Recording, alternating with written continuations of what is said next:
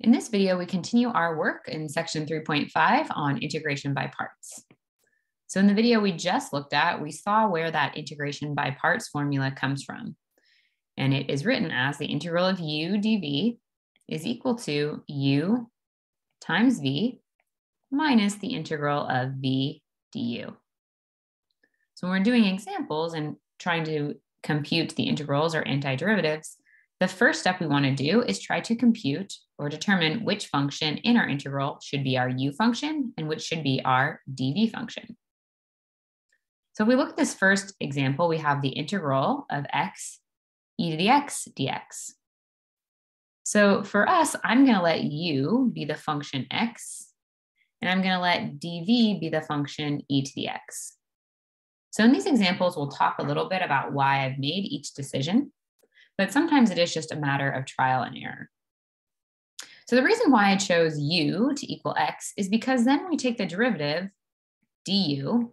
Well, the derivative of x is just 1.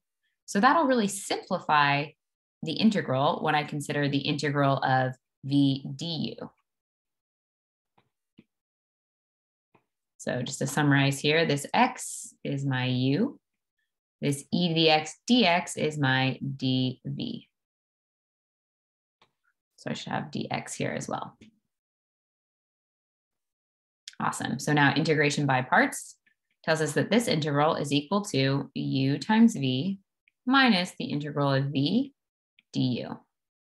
So I need to determine du and v. So if dv is e to the x, then v, the original function, is going to be the antiderivative e to the x, which is just e to the x. So then this integral that I'm trying to compute becomes u times v, which for us is x times e to the x. So I have x times e to the x minus the integral of v, which is e to the x, du, which is just 1.